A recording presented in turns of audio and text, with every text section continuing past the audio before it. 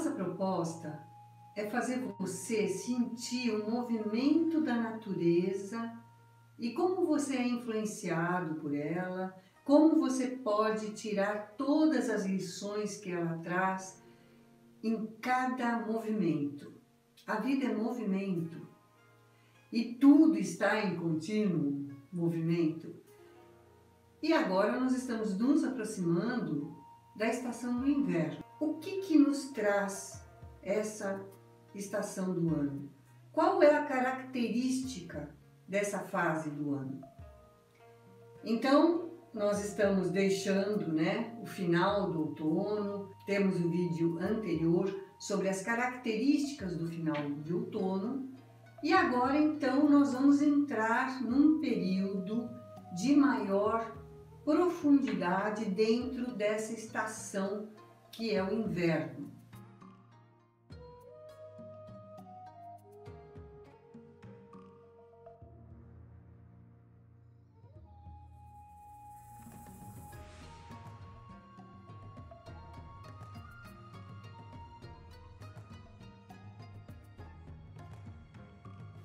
O inverno ele está relacionado ao elemento água, é o trigrama Kan. E ele tem uma significação muito profunda. Ele diz para você que você também, junto com a natureza, deve estar fazendo esse processo de renovação. É a época mais in do ano. E como eu já falei para vocês, neste símbolo do baguá, o yin contém o yang, o yang contém yin. Então é uma constante renovação onde existe essa transformação de forças, onde agora esse yin, que corresponde ao horário da meia-noite, ele traz para nós uma ideia principal. Estamos nos realizando como pessoa, nós encontramos aquela atividade profissional onde a gente realiza a nossa maior missão dentro dessa criatividade que cada um carrega dentro de si. Nós somos seres humanos únicos.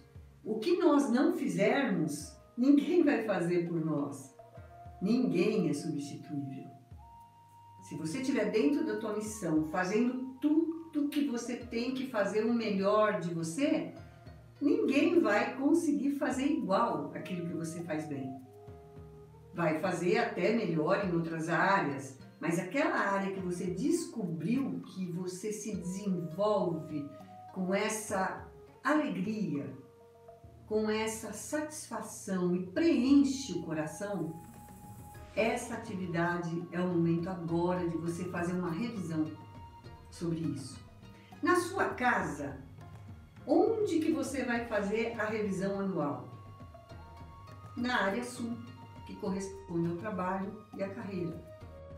Você já sabe que nem sempre essa área vai estar relacionada diretamente à sua porta de entrada nem sempre a sua porta de entrada vai estar nessa posição. Ela vai estar na área do baguá segundo as direções cardeais. Mas o mais importante é você realmente conhecer essa atividade da natureza, ela está em repouso. O nosso inverno tropical tem características diferentes, né? Você percebe que nós temos flores lindíssimas que florescem na época do inverno. Eu aqui no meu jardim, que eu amo de paixão e mexo diariamente, eu vejo os manacás da serra florescendo, a mirra florescendo, a neve da montanha florescendo, as aleias, hibiscos que praticamente florescem o ano todo, as orquídeas, né? Porque nós temos uma temperatura que não chega a ser tão severa como no hemisfério norte. E você sabe que nesse momento, com essa questão das forças opostas e iguais, enquanto aqui nós entramos no inverno, no hemisfério norte é o verão.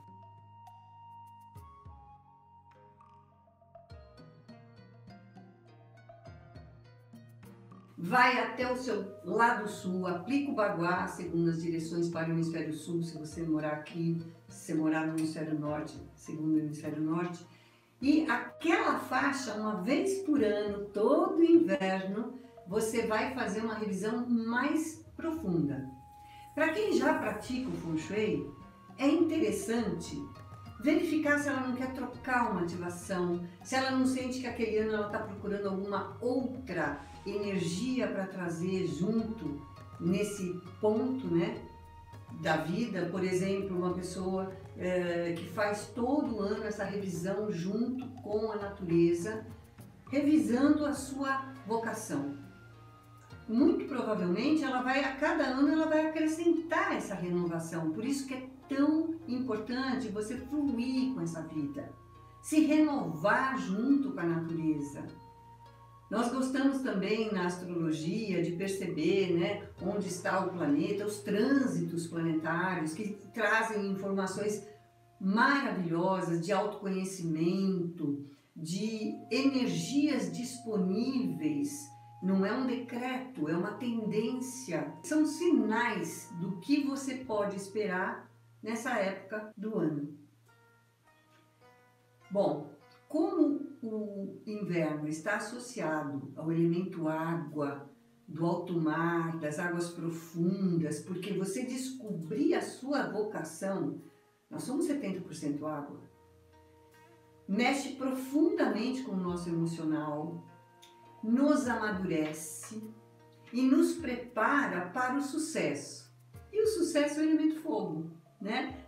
Forças opostas e iguais. Então, na sua casa, você vai revisar o lado sul, colocar suas intenções, porque elas vão florescer na primavera.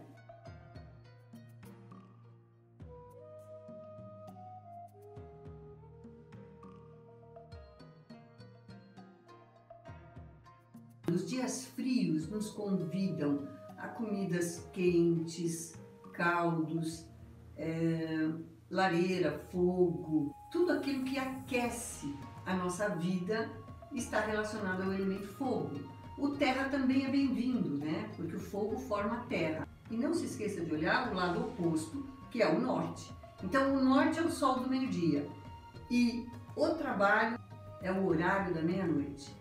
Quem vibra também com o lado sul é a estrela alfa da constelação do Cruzeiro do Sul, constelação Crux, uma cruz de estrelas no céu do hemisfério sul. Quando puder também, olha para o céu.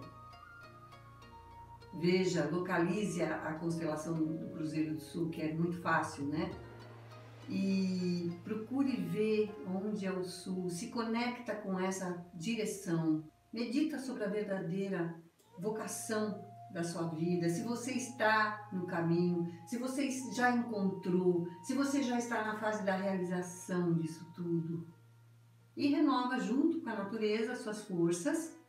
Nós ainda vamos ter a segunda fase do inverno, que vai ser outro trigrama, o trigrama da montanha, mas no momento nós temos então os 45 dias de primeira fase do inverno.